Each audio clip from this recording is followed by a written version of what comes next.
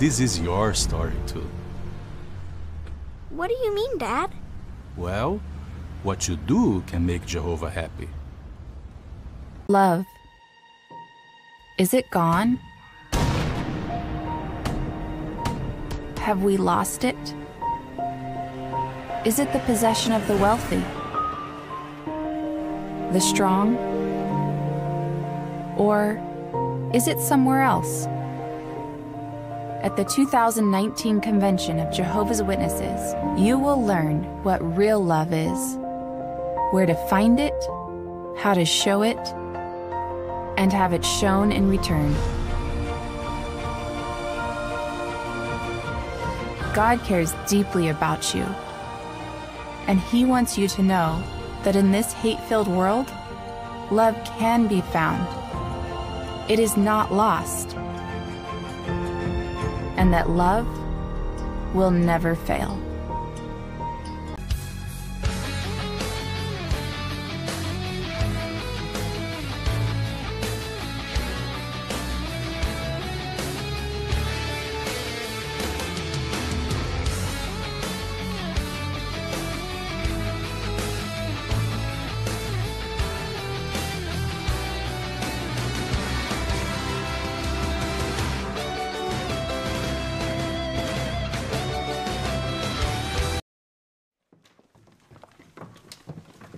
These 13 men and women grew up as Jehovah's Witnesses. How many of you are telling your story for the first time on television? I feel honored to be in this room with all of these survivors. Now all adults and living in different cities, we brought them together in California for the largest television group interview of its kind. How many of you have thought about harming yourself? Oh my. None of us had to be, it could have been, I could have had a different life. I was six. Cameron Torres says he and his mom told the leadership of his congregation, men known as elders, about being sexually abused. And the elders didn't do anything. They said we would look into this. We'll, you know, we'll take care of it. We'll leave it in God's hands. And it's been a quarter century, and they haven't done anything. This organization is a culture that doesn't protect our children. It's dangerous. It's very, very dangerous. You were silenced. Megan Lynn is a fifth generation Jehovah's Witness who lives in California and spoke to us without her family's knowledge or approval. And then I hope to God they understand that I love them and I'm not doing this because I hate them. I'm doing this because I love children and I want them to be safe. And this is the only way for them to be safe, for us to put ourselves in the front lines. Even if it costs you your family. Yes. More than a million followers of the religion hand out literature or have gone door to door trying to convince more people of an approaching apocalypse and that in the resurrection, only true believers will be saved by Jehovah, their name for God. In a statement to the National Investigative Unit and in literature from May published online, the Jehovah's Witnesses call child abuse an especially repugnant, wicked deed and say elders endeavor to comply with laws requiring allegations of child abuse be reported to authorities. But our investigation found that is not always true. Avoiding the police, followers, elders, memos, and hundreds of pages of court transcripts reveal was the expectation from the very top of the organization, now headquartered here about an hour north of New York City. These internal letters and documents from headquarters dating back 30 years directed its 13,000 congregations across the country to handle abuse claims internally, to send copies of files to headquarters, not police, in special blue envelopes, and to destroy documents laying out past policy. Have you seen this letter dated July 1st, 1989? Yes, this is the one about confidentiality. Roger Bentley says he read and followed the written orders when he was a longtime elder.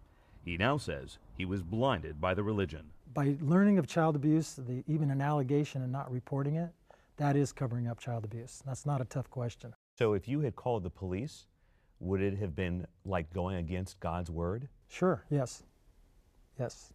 So it would be almost unthinkable for you to disobey the governing body and call the authorities. Correct. I was complicit with an organization that really had a bad policy towards child sexual abuse. Now authorities want to know more about that policy. The National Investigative Unit contacted the offices of all 50 state attorneys general in the United States. We've learned at least three have been looking into the Jehovah's Witnesses, contacting whistleblowers and followers who allege abuse.